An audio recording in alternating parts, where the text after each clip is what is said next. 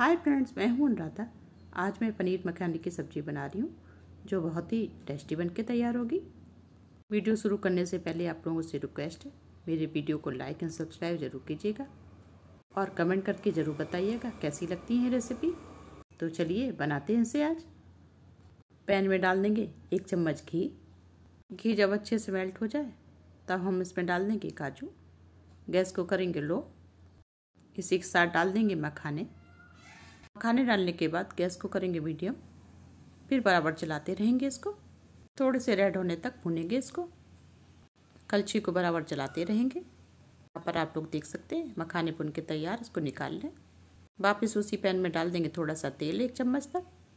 फिर इसमें डालेंगे लौंग, काली मिर्च, इलायची, दालचीनी। यहाँ पर भी गैस को करेंगे मीडियम। और ये खड़े मसाले इसमें डाल दें। इसके बाद हम डालेंगे थोड़ा सा जीरा। लगभग एक चम्मच तक। इन सब मसालों को थोड़ा सा भुन जाने दें। फिर इसी के साथ डालेंगे हम दो बड़े प्याज कटे हुए। थोड़ा सा जिंजर। जिंजर डालने के बाद इसमें डाल देंगे हम गार्लिक। से लहसुन की कलियों को डाल दे रही हूँ मैं यहाँ पर।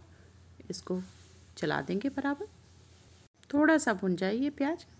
फिर हम इसमें टमाटर डालेंगे।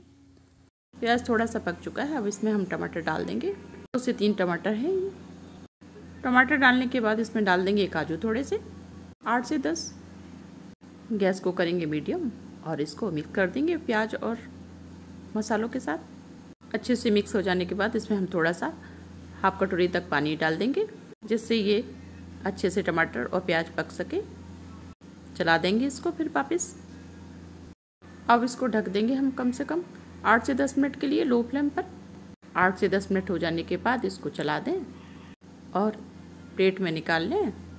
फिर ठंडा होने के बाद मिक्सर की जार में डाल के पीस लें इसको। पूरी तरीके ठंडा हो जाने के बाद ही इसको डालें इसमें। यहाँ पर ठंडा होने के लिए रख दें थोड़ी देर के लिए। ठंडा हो जाने के बाद मिक्सी के जार में इसको डालें। थोड़ा थोड़ा करके इसको आराम से मिक्सी के जार में डाल दें। इसके बाद डाल देंगे हम इसमें थोड़ा सा पानी।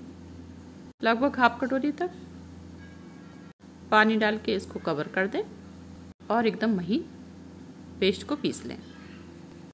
तो चलिए अब इसकी सब्ज़ी बनाने के लिए इसमें डाल दें लगभग एक चम्मच तक तेल।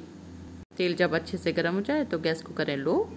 और जो मैंने पीस के रखा था पेस्ट, उसको डाल देंगे इसमें। हाफ़ चम्मच तक रेड चिल्ली पाउडर और साथ में डाल देंगे हम टर्मरिक पाउडर हाफ़ चम्मच तक। थोड़ा सा कॉरिंडर पाउडर साल्ट और इस पेस्ट को मीडियम फ्लेम पर चलाते हुए छः से सात मिनट तक चलाते हुए पका लेंगे। बराबर इसको चलाते रहें, जिससे ये नीचे लगने ना पाए। नहीं तो इसका टेस्ट भी ख़राब हो जाएगा और कलर भी इसका ख़राब हो जाएगा। ज़्यादा इसको पकाना नहीं, क्योंकि मैंने सब सब्जियों को पहले ही बॉईल कर लिया था। इसलिए यहाँ पर बस थोड़ी देर पकाना है। इसको मसाला पक के तैयार है। इसमें हम डाल देंगे क्रीम लगभग दो चम्मच तक। इसको मिक्स कर दें। जब क्रीम अच्छे से मिक्स हो जाए इसमें, तब हम इसमें डालेंगे कसूरी मेथी। चलाते रहें बराबर इसको। सब्ज़ी बहुत ही जल्दी बन के तैयार होती है और बहुत ही टेस्टी बनती है। कस्तूरी मेथी को डाल दें यहाँ पे और इसी के साथ डाल दें ये भुने हुए मखाने और काजू। इन सबको डाल के ग्रेवी के साथ मिक्स कर दें। देखिए फ्रेंड्स कितना अच्छा लग रहा है ये। खाने में तो उतना ही टेस्टी लगेगा। ये देखने में लग रहा है? इसको आप पूड़ी, पराठा, चपाती किसी के साथ भी खा सकते हैं। हाफ़ ग्लास तक पानी मिला दें इसमें। पानी को अच्छे से मिक्स कर दें। गैस को मीडियम ही रखें पूरी प्रोसेस में। पानी ग्रेवी के साथ मिक्स हो जाने के बाद इसमें हम मिला देंगे पनीर। पनीर को भी मिला दें इसमें। मिक्स करने के बाद इसको लो फ्लेम पर पका लेंगे थोड़ी देर के लिए और पनीर बन के तैयार है। गर्मा गर्म रोटी या पराठा के साथ खाएँ और बताएँ कैसी लगी ये रेसिपी। पसंद आए तो ज़्यादा से ज़्यादा लोगों को शेयर करें और साथ में सब्सक्राइब करें। Thank you.